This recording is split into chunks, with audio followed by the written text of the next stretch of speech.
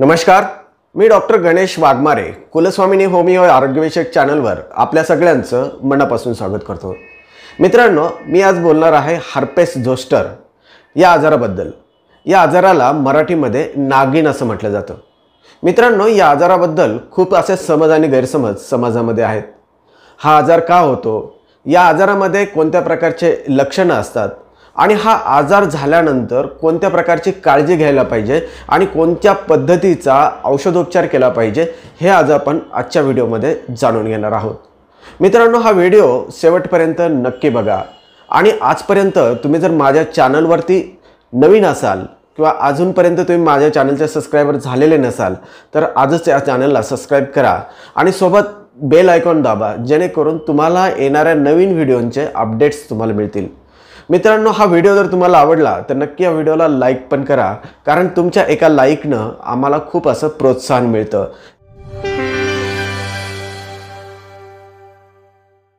मित्रांनो हार्पेस झोस्टर या आजाराला मराठीमध्ये नागिन असं म्हटलं जातं. हा आजार विषाणूंच्या संसर्गामुळे होतो. हा आजार निर्माण करणाऱ्या व्हायरसचं नाव आहे व्हेरिसिला झोस्टर. आपल्यापैकी अनेक लोकांना कांजण्या होत असतात. कांजण्या होण्याचं कारण सुद्धा व्हेरिसिला झोस्टर हाच व्हायरस आहे. ज्या व्यक्तींना कांजण्या होतात अशा व्यक्तींना हा व्हायरस त्यांच्या शरीरामध्ये इनॲक्टिव्ह स्टेटमध्ये असतो. म्हणजे ज्यावेळेला त्यांच्या शरीरामध्ये कांजण्या झाल्यानंतर हा व्हायरस असतो त्यावेळेला कोणत्याही प्रकारचे लक्षणं दाखवत नाहीत.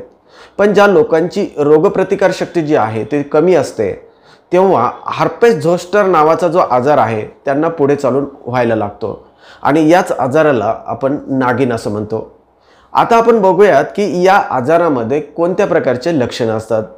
मित्रांनो ज्या ठिकाणी हार्फेस झोस्टरचा आजार सुरुवात होतो त्या ठिकाणी खूप अशी प्रचंड आग व्हायला लागते खाज येते.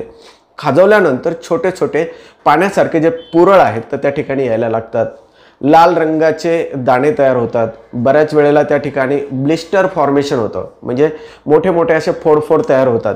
त्या ठिकाणी पाणी भरायला लागतं. आणि त्या ठिकाणी पू पण होतो. बऱ्याच वेळेला पू पण होतो.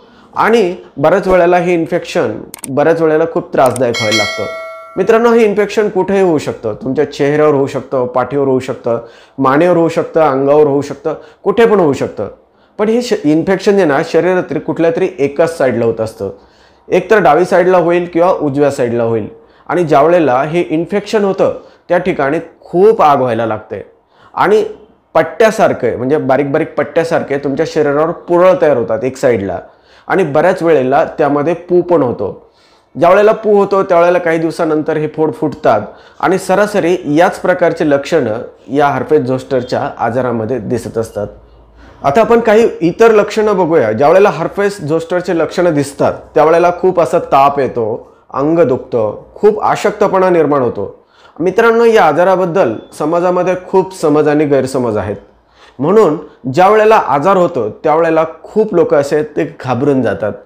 प्रथमतः आपण घाबरू नका. बऱ्याच लोकांना असं वाटतं की हा आजार ज्या वेळेला होतो त्यावेळेला आपल्या पूर्ण शरीरावरती पसरतो. आणि ज्या वेळेला पूर्ण शरीरावर पसरतो त्यावेळेला आपल्या जीवाला धोका होईल आणि आपण मरू असं वाटतं. बऱ्याच लोकांचा हा गैरसमज असतो पण तसं काही नसतं. बऱ्याच लोकांना असं वाटतं की आजारामध्ये तोंड आणि शेपूट ज्या वेळेला एकत्र येतं त्यावेळेला व्यक्ती मरतात अशी एक संकल्पना समाजामध्ये बऱ्याच मोठ्या प्रमाणावर आहे. पण मित्रांनो असं काही नसतं. हा आजार झाल्यानंतर लवकरात लवकर तुम्ही जर ट्रीटमेंट घेतली किंवा हा आजार दाबून जर नाही ठेवला वेळच्या वेळी जर या आजाराचा उपचार केलं किंवा हा आजार तुमच्या वरच्या साईडपर्यंत चेहऱ्यापर्यंत कानापर्यंत जर गेला नाही तर तुम्ही लवकरात लवकर या आजारापासून बरे होता. बऱ्याच वेळेला हे इन्फेक्शन जे आहे शरीराच्या वरच्या साईडला गेलं म्हणजे कानाकडे गेलं किंवा चेहऱ्याकडे गेलं अशा वेळेला हे इन्फेक्शन जे आहे ते खूप मोठ्या प्रमाणावर वाढतं. अशा वेळेला कानापासून जे आपल्याला ऐकायला येत असतं ते ऐकायला येणं बंद होतं. डोळ्यांची नजर जी आहे तर ती कमजोर होते किंवा कधीकधी डोळे पण जातात. लोकांना तोंडावर किंवा जिभेवर पण या व्हायरसचं इन्फेक्शन होतं. जिभेमध्ये तोंडावरती गालाच्या चे ओठांच्या साईडला खूप असा त्रास होतो. आणि हार्फेस जोस्टनचं खूप मोठ्या प्रमाणावरती वाढ होते. अशा वेळेला लोकांची भूक मंदावते आणि डोक्यापासपर्यंत म्हणजे वरपर्यंत जर हे इन्फेक्शन जर गेलं तर कधी कधी खूप सिरियस डो डोक्याचे सुद्धा प्रॉब्लेम होऊ शकतात डोळे जाऊ शकतात कानाचं ऐकणं बंद होऊ शकतं. मित्रांनो हा आजार जरी मोठा असला तरी हा पूर्णपणे बरा होणारा आजार आहे. म्हणून प्रथमत घाबरून जाऊ नका. मित्रांनो विशेष म्हणजे हा आजार जो आहे तर संसर्गजन्य अजिबात नाही. म्हणजे एकाचा दुसऱ्याला होत नाही. या आजारामध्ये पेशंटच्या संपर्कात राहणं खूप महत्त्वाचं असतं. ज्या पेशंटला हा आजार झाला त्या पेशंटला मानसिक धीर देणं खूप महत्त्वाचं असतं. मित्रांनो ज्या वेळेला कधी कधी काय होतं की पेशंटच्या संपर्कात असताना त्या पेशंटचा जर पू तुमच्या शरीराला लागला तर त्यावेळेला तुम्हाला कांजण्यासारखा जो आजार असतो तो तो होऊ शकतो. मात्र तुम्हाला एक लक्षात ठेवा तुम्हाला हार्फेज झोस्टर जो आहे तर तो कधीच होत नाही. कारण हार्पेज झोस्टर म्हणजे नागिन हा जो आजार आहे तो संसर्गजन्य अजिबात नाही. मित्रांनो हा आजार आपण बघूयात की कोणत्या लोकांना जास्त प्रमाणावर होतो. मित्रांनो ज्या लोकांचं वय पन्नास किंवा पन्नासपेक्षा जास्त आहे अशा लोकांना या हार्पेज झोस्टरचं म्हणजे नागिनचं आजार होऊ शकतो. किंवा ज्या लोकांची इम्युनिटी जी आहे म्हणजे रोगप्रतिकारशक्ती आहे ती कमी झालेली असते. आता रोगप्रतिकारशक्ती कोणत्या आजारांमध्ये होते? कमी कुठल्या कुठल्या आजारांमध्ये होते ते आपण बघूया. जसं की एच आय व्ही एड्स आहे. यामध्ये रोगप्रतिकारशक्ती कमी होते. कॅन्सरसारख्या आजारांमध्ये ज्या वेळेला रेडिएशन किंवा किमोथेरपी दिली जाते त्यावेळेला रोगप्रतिकारशक्ती कमी होते. किंवा बऱ्याच वेळेला काही लोकांना ट्युबरक्युलॅसिस असेल किंवा कुठल्याही इम्युनो सपरेशन प्रॉब्लेम्स असतील त्यावेळेला आपली रोगप्रतिकारशक्ती कमी होते. आणि अशा वेळेला हार्पेस झोस्टर म्हणजे नागिनसारखा आजार होण्याचं प्रमाण मोठ्या प्रमाणावरती असतं. थोडक्यात आपण बघूया कोणत्याही आजारानं तुम्ही ग्रस्त असाल. म्हणजे लॉंग सिच्युएशन जे असते आजाराची म्हणजे खूप दीर्घकाळ आजार असतो त्यावेळेला आपल्या व्यक्तीची रोगप्रतिकारशक्ती जी असते तर ती इम्युनिटी लेवल कमी होते. आणि अशा वेळेला हा हार्फिस झोस्टर हा आजार आपल्याला होत असतो. पुढे आपण बघूयात की कोणत्या लोकांना हार्फिस झोस्टर होतो. काही लोक अकारण स्टिरॉइडचा वापर करतात. खूप असं स्टिरॉइड घेत राहतात. काही पण झालं तर स्टिरॉइड घेत राहतात. आणि या स्टिरॉइडमुळं रोगप्रतिकारशक्ती जी आहे तर ती कमी होते. परिणामी नागिनसारखे आजार किंवा हार्फेस झोस्टर शक के आजार जे आहे होण्याची जी शक्यता असते त्याची जास्त होते. मित्रांनो आता आपण बघूयात कोणते असे औषधं आहेत की ज्या औषधानं हार्फेज झोस्टरसारखे आजार मुळातून बरे होतात याला दुमात्र कुठलीही शंका नाही. मित्रांनो बऱ्याच वेळेला हार्फेज झोस्टरचा जो आजार आहे तर तो पुन्हा पुन्हा होण्याचं जे प्रमाण आहे तो मोठ्या प्रमाणावर आहे. मात्र तुम्ही जर होमिओपॅथी औषधं घेतले तर हा आजार मुळापासून जायला मदत होते आणि तुम्ही काही दिवसात बरे व्हायला लागतात. पण मित्रांनो हा आजार तुम्हाला जर घालायचा असेल तर कमीत कमी पंचवीस दिवस एक महिनापर्यंत हे जे औषधं आहे तर रेग्युलर घेणं गरजेचं असतं. बऱ्याच लोकांना असं वाटलं की मी आज घेतलं आणि आठ दिवसात बंद करेल तर तसं काही करू नका. तुम्हाला जर मुळातून बरं व्हायचं असेल तर हे जे औषधं आहे तर शेवटपर्यंत घेत राहा. मित्रांनो बऱ्याच वेळेला असं दिसलं की ज्या लोकांना नागिन झाली ज्या ठिकाणी नागिन झालेले असते म्हणजे हरफे झोस्टर झालेलं असतं त्या ठिकाणी पेन्स सुरू होतात. म्हणजे ती नागिन तर बरी होते पण त्या ठिकाणी दुखायला लागतं. याला आपण पोस्ट न्यूरॅल्जिक पेन असं म्हणतो. मित्रांनो बऱ्याच वेळेला हे पोस्ट न्यूरॅल्जिक पेन्स असेच जर कंटिन्यू राहिले तर पुन्हा जे हरफेज झोस्टर किंवा पुन्हा पुन्हा नागिन होण्याची जी शक्यता असते तर ती मोठ्या प्रमाणावर असते. म्हणून होमिओपॅथी जे औषधं आहेत तर ते ह्या नागिन या आजाराला मुळापासून बरं करण्याची ताकद त्यांच्यामध्ये असते. आणि इन्फेक्शन जे आहे तर जे वाढ होण्याचं जे प्रमाण असतं तर ते मुळातून कमी होतं. म्हणून होमिओपॅथी औषधं या नागिन आजारासाठी खूपच चांगले आहेत. मित्रांनो आता आपण बघूयात कोणते औषधं आहेत होमिओपॅथीचे. होमिओपॅथीचं पहिलं औषध आहे रॅनिन कुलसस बल्बोजस नावाचं. मित्रांनो हे जे औषध आहे आपल्याला थर्टी पोटेन्शीमध्ये घ्यायचं असतं. ज्या लोकांना ब्ल्यू कलरचे ब्लिस्टर्स असतात म्हणजे एक साईडला ब्ल्यू कलरचे ब्लिस्टर्स येतात म्हणजे म बारीक बारीक फोड्स येतात आणि या फोडामधून कधी कधी पू येत असेल मोठे मोठे फोड तयार झाले असतील तर अशा वेळेला हे बल्बोजस नावाचं जे औषध आहे खूप चांगलं काम करतं. मित्रांनो हे जे औषध आहे तर हे थर्टी पोटन्शीमध्ये आपल्याला घ्यायचं असतं.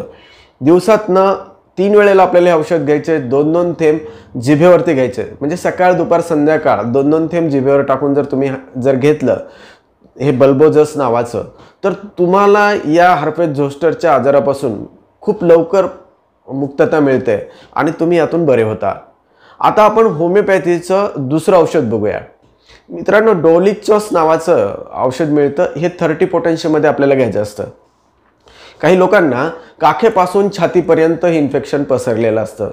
आणि या इन्फेक्शनमध्ये खूप अशी आग असते.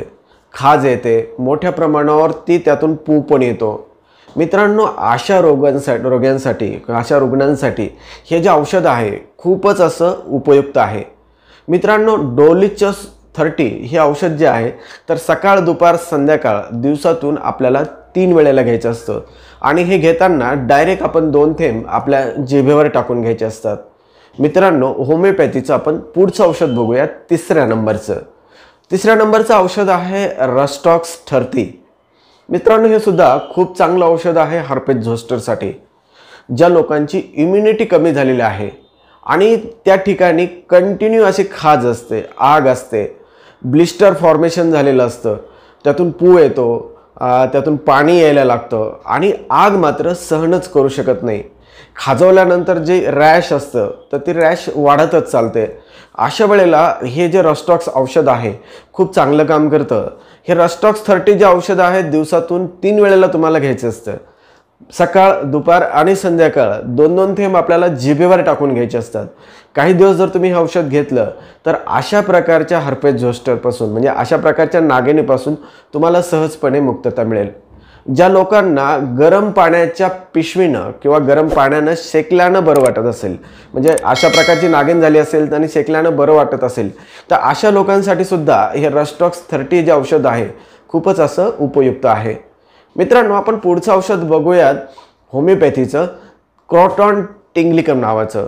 क्रोटॉन टिंक नावाचं जे औषध आहे हे सुद्धा औषध आपल्याला थर्टी पोटन्शीमध्येच घ्यायचं असतं सकाळ दुपार संध्याकाळ. हार्पेज झोस्टरचं इन्फेक्शन जेव्हा चेहरा किंवा कानाच्या मागच्या बाजूला किंवा इतर ठिकाणी व्हायला लागतं तर अशा वेळेला तुम्हाला हे जे औषध आहे खूप चांगलं काम करतं. मित्रांनो ज्या लोकांना चेहऱ्यावरती झाले कानावरती झाले अशा लोकांसाठी तर हे खूप असं उपयुक्त आहे. पण यासोबत त्यांना खूप आग असते खाज येते आणि खाजवल्यानंतर जे चेहऱ्यावरचं जे इन्फेक्शन आहे किंवा मानेवरचं इन्फेक्शन आहे तर खूप मोठ्या प्रमाणावरती वाढत चालतं. अशा लोकांसाठी हे जे औषधं आहे खूपच असं चांगलं औषध आहे. मित्रांनो हे औषधसुद्धा आपल्याला थर्टी पोटेन्शियमध्ये घ्यायचं असतं सकाळ दुपार आणि संध्याकाळ. दिवसातून तीन वेळेला आपल्याला जिभेवरती दोन दोन ठेंब टाकून आपल्याला हे औषध घ्यायचं असतं. तर हे औषध जे आहे काही दिवस तुम्ही जर घेतलं तर चेहऱ्यावरचं आणि कानावरचं जे हार्फेस झोस्टरचा जो प्रॉब्लेम आहे किंवा नागिनेचा प्रॉब्लेम आहे तो लवकरात लवकर बरा व्हायला लागतो. आणि तुमच्या जॉईंट्स किंवा डोक्यावरती किंवा मानेच्या रिजनमध्ये किंवा इतर कुठल्याही ठिकाणी जरी इन्फेक्शन झालं असेल तर हे जे औषध आहे क्रोटॉन टिग नावाचं थर्टी पोटन्शीमध्ये घ्या. तुम्हाला काही दिवसामध्ये या नागिनीच्या आजारापासून मुक्तता मिळेल. मित्रांनो होमिओपॅथीमध्ये असे खूप चांगले औषधं आहेत. पण तुम्हाला तुमच्या कॉन्स्टिट्यूशननुसार ही औषधं घ्यायची असतात. मित्रांनो याच प्रकारच्या अनेक औषधंसुद्धा पेटंटसुद्धा काही उपलब्ध आहेत. त्याचासुद्धा तुम्ही वापर करू शकता. मित्रांनो पेशंटच्या कॉन्स्टिट्यूशननुसार होमिओपॅथीमध्ये औषधं दिली जातात. तज्ज्ञ डॉक्टरांच्या कडून किंवा त्यांच्या सल्ल्यानुसारच ही औषधं घ्यावेत असा आपल्याला सल्ला दिला जातो. किंवा तुम्हाला आमच्याकडून ऑनलाईन कन्सल्टेशन पाहिजे असेल. म्हणजे तुम्ही तुम्हाला घर बसल्या तुम्हाला मेडिसिन आम्ही पोस्टानं पाठवतो. तुम्हाला घर बसल्या तुम्हाला औषधी मिळते. फक्त त्यासाठी तुम्हाला तुमची आपल्याला कन्सल्टिंग फीस तुम्हाला जी आहे तर ती द्यायची असते. आणि तुमचा पूर्ण उपचार ऑनलाईन पद्धतीनं केला जातो. मित्रांनो हा छोटासा व्हिडिओ तुम्हाला आवडला असेल तर या व्हिडिओला लाईक करा. आणि माझ्या चॅनलवर जर नवीन असाल तर आजच आमच्या चॅनलला सबस्क्राईब करा. जय हिंद जय महाराष्ट्र. मित्रांनो याच पद्धतीचे अनेक व्हिडिओ आमच्या चॅनलवर सतत आम्ही टाकत असतो. जर माझ्या चॅनलवर नवीन असाल तर परत एकदा सांगतो की चॅनलला सबस्क्राईब करा. जय हिंद जय महाराष्ट्र.